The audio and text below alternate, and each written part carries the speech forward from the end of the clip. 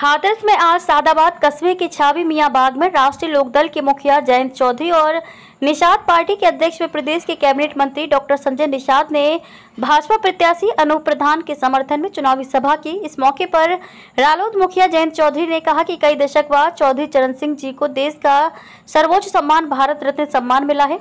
उन्होंने कहा कि यदि कांग्रेस की सरकार आई तो प्रधानमंत्री नरेंद्र मोदी द्वारा चलाई जा रही किसान सम्मान निधि योजना को समाप्त कर देगी। कांग्रेस के मैनिफेस्टो में इस योजना का ज़िक्र नहीं है। कांग्रेस किसानों के वोट तो लेना चाहती है, लेकिन उन्हें लाभ नहीं देना चाहती। और कहा कि आज विपक्ष दल ये भ्रम फैला रहे हैं कि संविधान समाप्त हो जाएगा, आरक्षण समाप्त हो जाएगा, लेकिन देश के प्रधानमंत्री आज नरेंद्र मोदी हैं, इसलिए बाबा साहब डॉक्टर अंबेडकर का दिया हुआ संविधान न बदला जा सकता है और न ही इसे छेड़खानी की जा सकती है। उन्होंने कहा कि विपक्षी दल ये सब बातें भय और भ्रम फैलाने के लिए कर रहे हैं, जिससे कि आपका वोट बिगड़ जाए। जयंत चौधरी ने विपक्षी दलों पर हमला बोलते कहा कि आज ये लोग सामाजिक न्याय की बात करते हैं, लेकिन सामाजिक न्याय की असली लड़ाई चौधरी चरण सिंह ने लड़ी। बिहार में कर्पूरी ठाकुर ने सबसे पहले ओबीसी को आरक्षण देना शुरू किया। ये चौधरी चरण सिंह के आशीर्वाद से ही शुरू हुआ। उन्होंने कहा कि चौधरी चरण सिंह तो ये चाहते थे कि किसान के बेटे को भी आरक्षण मिले। जयंत चौधरी ने इस मौके पर प्रधानमंत्री नरेंद्र मोदी और केंद्र सरकार की योजनाओं का जमकर बखान किया और भाजपा प्रत्याशी को वोट देने की अपील की। जनसभा में निषाद पार्टी के अध्यक्ष और कैबिनेट मंत्री डॉक्टर संजय निषाद ने विपक्षियों पर हमला करते हुए कहा कि ये बहरूपीय हैं, इनसे सावधान रहना होगा। सत्ता में रहते हुए इन्हें पिछड़े दलित, किसान और नौजवान याद नहीं आते। इस मौके पर मुख्य रूप से भाजपा के प्रत्याशी अनूप प्रधान, राष्ट्रीय लोकदल के विधायक प्रदीप उर्फ़ गुड्डू चौधरी, भाजपा जिलाध्यक्ष शरद माहेश्वरी, विधान परिषद सदस्य ऋषिपाल सिंह, रालोद के जिलाध्यक्ष केशव चौधरी आदि काफ़ी राजनेता मौजूद थे। कार्यक्रम में सबसे पहले अतिथियों का जोशीला स्वागत किया गया। लोकदल अब एनडीए में आया। कुछ सोच समझ के मैंने निर्णय लिया। आपका भला कैसे होगा?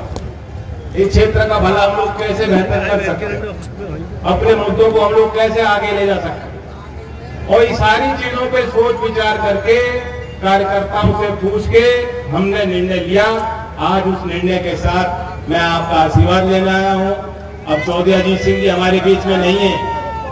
ये पहला लोकसभा चुनाव है जो हम उनके बगैर लड़ रहे हैं। और सादाबाद का वो क्षेत्र है मेरे परिवार के लोग बैठे कोई आम विधानसभा क्षेत्र नहीं।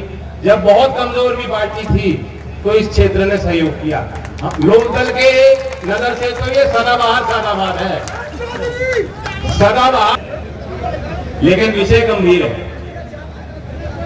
मन से सारी बात कही गई कि इस प्रकार से आज जो योजना बन रही है, उसका लाभ सीधा पहुँच रहा पहले कैची वाला ने चलाने वाले लोग बीच में जो बिचौलिए थे, वे मलाई खा लेते। थे योजना अच्छी बनती थी, घोषणा अच्छी होती थी, ज़मीन तक पहुँचते पहुँचते कुछ मिलता नहीं था। वे खोखले वादे रह जाते थे।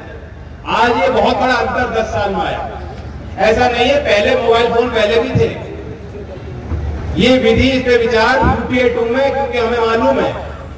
एक अंदर की बात आपको बता सकता हूँ, क्योंकि यूपीए टू में बहुत छोटे कार्यकाल के लिए चौधरी अजीत सिंह जी मंत्री उस समय डॉक्टर मनमोहन सिंह जी प्रधानमंत्री तो उस समय इस विषय पे चर्चा हो रही थी कि सीधा लाभार्थियों को, क्योंकि सारी जानकारी डेटा विधि सब कुछ उपलब्ध थी सरकार के पास। कि ऐसी हम व्यवस्था बनाए, सीधा लाभ लाभार्थियों को चिन्हित करके सीधा उनके खातों में पहुंचाना निर्णय लेने की क्षमता नहीं थी। वो नहीं चाहते थे इस तरह के फैसले लेना।